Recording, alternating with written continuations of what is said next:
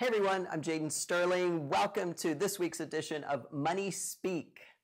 I'm excited. This is the very first episode of Money Speak, and I want to share with you the messages that money has for you this week, September the 11th, 2016. As I was lying in bed this morning, that's when I do this kind of work before my conscious thinking mind kicks in.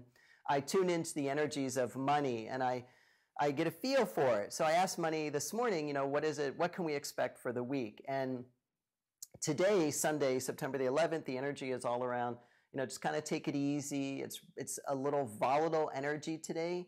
Uh, not a day to go out and spend money. It's more of an emotional day. And if you spend money uh, when you're feeling a heightened sense of emotion, you may overspend or you may buy something just to feel better, to fill that emotional void or emotional need that you have, and not the best formula if you've ever done that in your life. You know that. So um, just kind of hang out today. Stay home, relax, surround yourself with family and friends. Get your emotions fulfilled that way rather than by spending money. So, a relaxed kind of day.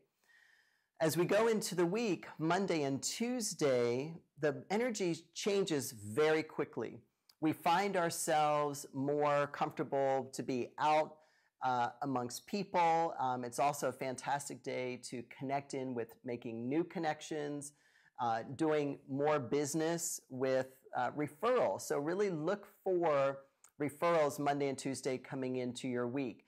Now, most of the time, because energy is right, if you uh, check out the the weekly Wealth and Wisdom reading. I'll put a link here and just click on that or a link in the description.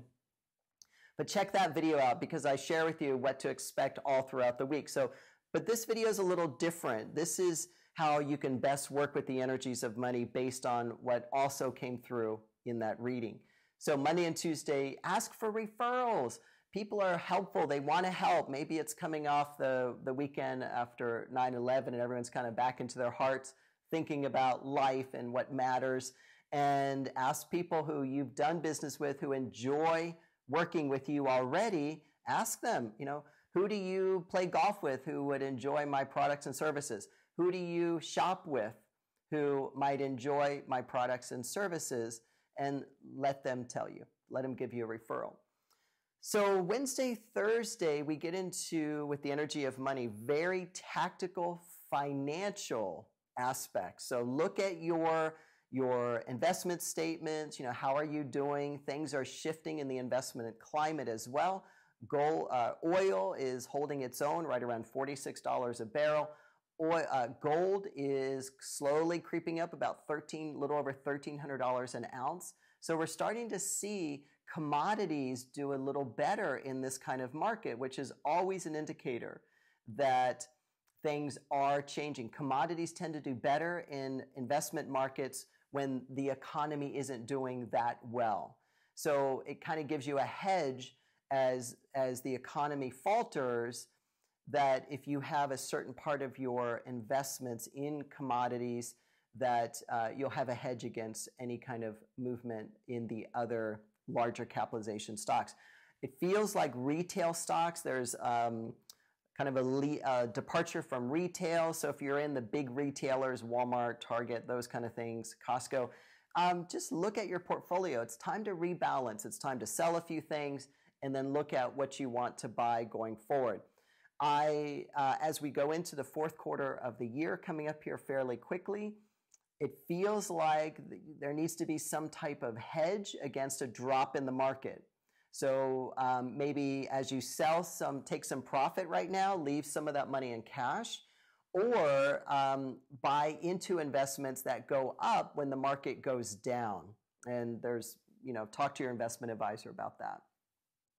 And then we roll into the latter part of the week, Friday, Saturday, Sunday.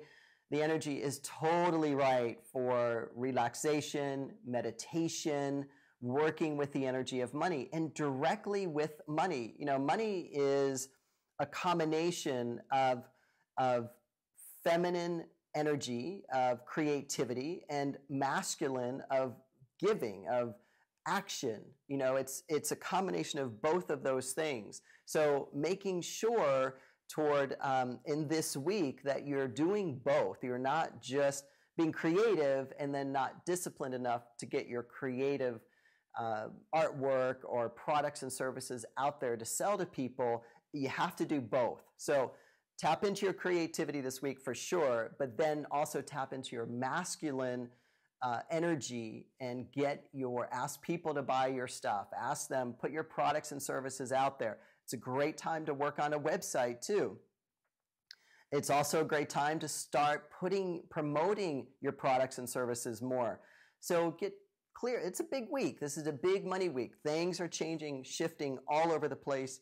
It's it's a tremendous week for solid financial decisions. Talk to your investment advisor. Um, you know, if you're whoever is helping you manage your portfolio, this is the week to make some changes right in the middle of the week. Be a little more defensive though. Um, make sure that you have some cash built up. Make sure that you have money in money markets. Prepare in the event of a decline in the market. Just feels like that may be coming. The market's had a tremendous run, particularly the US market this year, and there just feels like it's, it's losing a little bit of steam the fourth quarter. There's a lot of uncertainty around the election.